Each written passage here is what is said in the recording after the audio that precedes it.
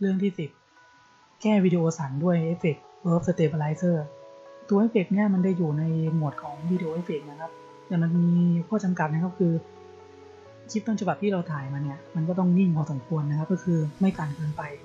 ถ้าคลิปต้นฉบับเราเนี่ยมันสั่นมากไหวมากเกินไปเนี่ยพอเราใส่ Warp Stabilizer ไปเนี่ยคลิปเราจะเพี้ยนหนักกว่าเดิมอยู่นะครับ หรือไม่ก็ Warp Stabilizer ใช้ไม่ได้จะขึ้นมา errorเนื่องจากภาพมันสั่นเกินไปนะครับ มาเริ่มกันเลยนะครับ ขั้นแรกก็ให้มาที่ส่วนของ Effects นะครับ แล้วก็มาที่ Video Effects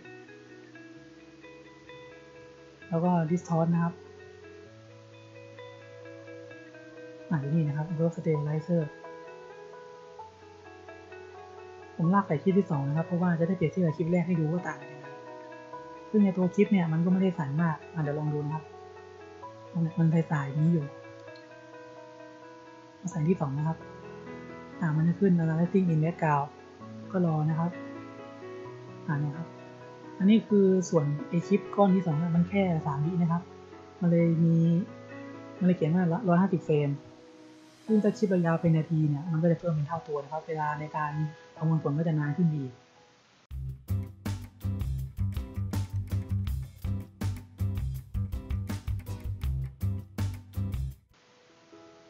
มันจะขึ้น stabilizing นะครับ คือใช้ได้แล้วนะครับแล้วก็มันจะนิ่งขึ้นนะครับ ในตรงสมูทเน็ตเนี่ยโปรแกรมมันจะปรับไว้ให้ 50 นะครับ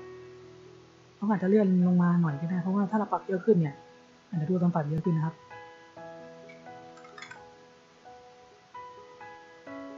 รองมันก่อนครับตรงไวแท็บ stabilizing จะหายไป